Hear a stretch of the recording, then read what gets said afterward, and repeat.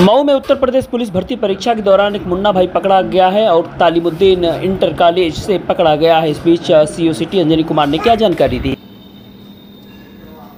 थाना कोतवाली, जनपद मऊ के तालिमुद्दीन इंटर कॉलेज में चल रही पुलिस भर्ती परीक्षा में एक व्यक्ति, जो किसी अन्य व्यक्ति के जगह पे एग्ज़ाम देने का प्रयास कर रहा था, तकनीकी तरीक़ों से उसका यह प्रयास पकड़ में आ गया।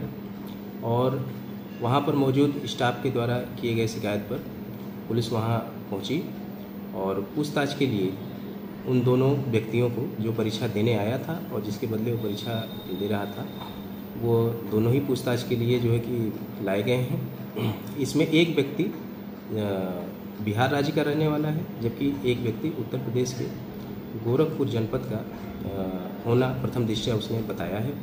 इस पर और पूछताछ जारी है जिस प्रकार के तथ्य निकलेंगे उसी अनुरूप अग्रिम विधि कार्रवाई की जाएगी।